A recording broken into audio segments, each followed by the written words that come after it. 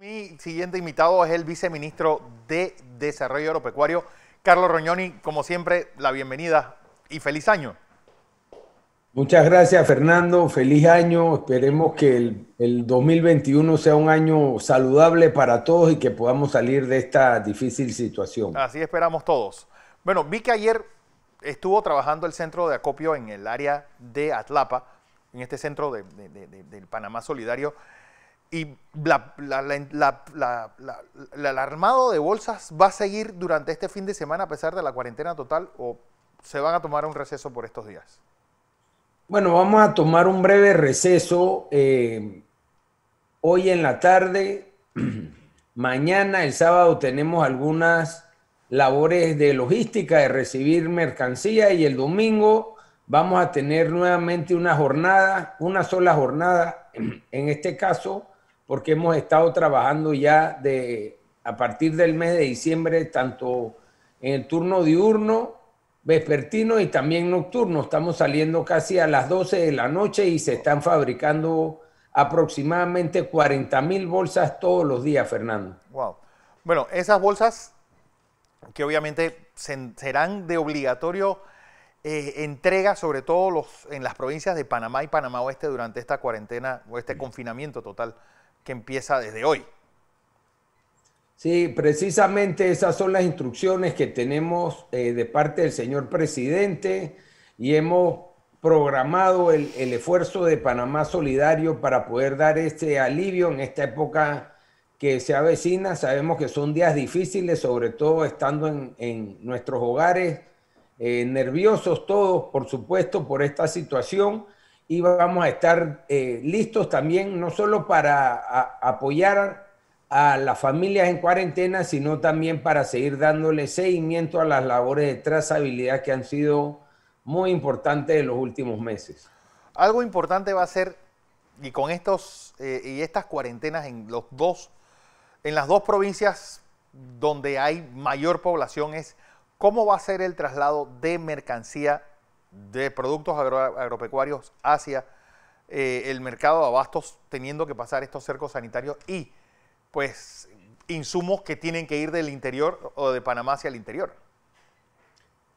Bueno, tal como sucedió en meses anteriores, eh, una de las excepciones que, que, tiene el cerco sanitario y, la parte de cuarentena es, el acopio de alimentos, el traslado de alimentos y sobre todo garantizar la cadena eh, de abastecimiento en los focos urbanos de, de, de, las áreas productivas a nuestra a la capital, a las capitales de provincia. En términos generales, y esto lo hemos coordinado con el Ministerio de Seguridad, la excepción la tienen los productores agropecuarios y por eso hacemos un llamado y aprovechamos la oportunidad que nos das para que seamos muy prudentes al salir de casa. Sí eh, sigamos manteniendo también las medidas de bioseguridad, pero sobre todo si no estamos realizando tareas productivas como las que tú señalas, buscando o llevando insumos para nuestras fincas o transportando producción,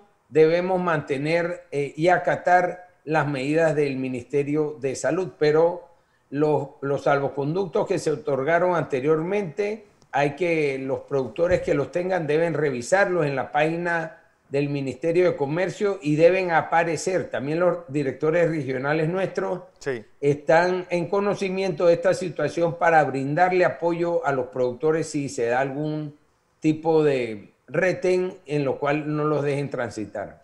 Bueno, también y sobre todo estos, estas, esta fin de semana de cuarentena total, personas que tienen que ir a ordeñar y a, a, a fumigar, digo, a regar, pues también pueden, pueden trasladarse a sus explotaciones agropecuarias.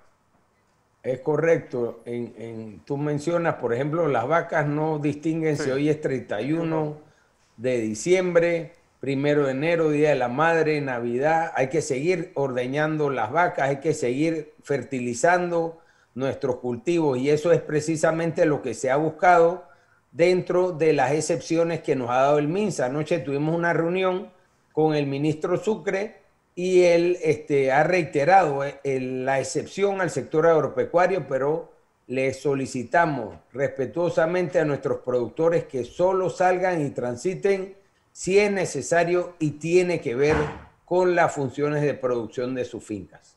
¿Qué, bueno, ¿qué debe pasar en el sector agropecuario en el 2021? Tu pronóstico para este año, hemos visto una, una depresión en el precio de parte de la carne y de la leche.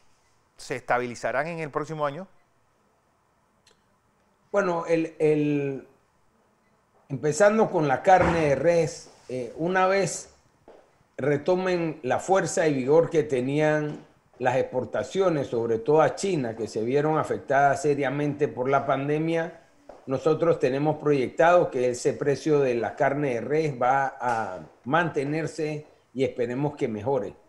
En cuanto a la, leche, se ha dado ya de hecho un incremento en la producción de leche a nivel nacional y también en el precio. Eh, tenemos que tener mucho cuidado con el precio de la leche porque no estamos solos en el mundo y hay competencia muy cerca de Panamá.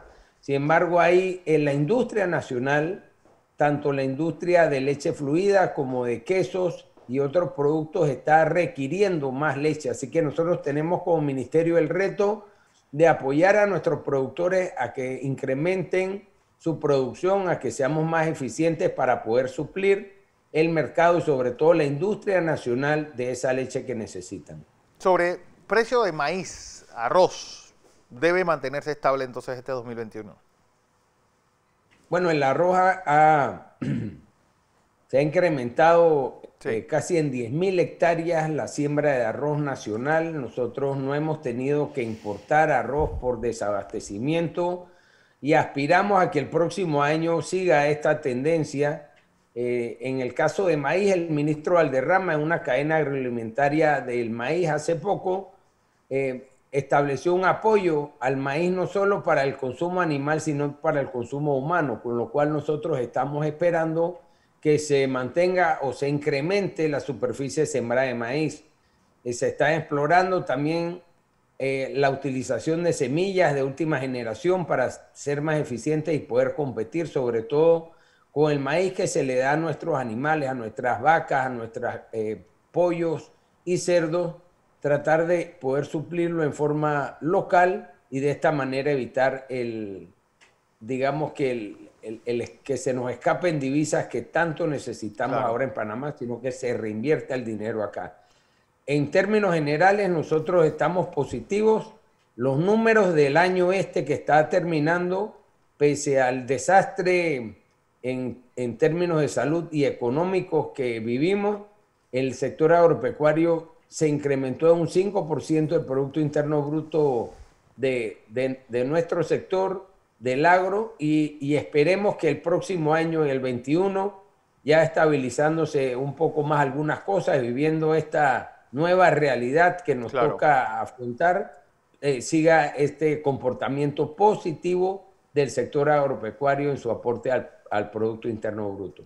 Así debe ser, don Carlos. Gracias por esta entrevista y gracias que siempre has estado pues, colaborando con nosotros a lo largo de este eh, año 2020 y un 2021 pues lleno de buenas intenciones. Muchas gracias, Fernando. Gracias a ti por la oportunidad de, llegar a tanto a tu audiencia. Y bueno, pidiéndole a Dios que tengamos un 2021 saludable. El resto siento que con esfuerzo lo resolvemos. Lo resolvemos. La salud es importante. Así es. Gracias, Carlos Roñoni, viceministro de Desarrollo Agropecuario.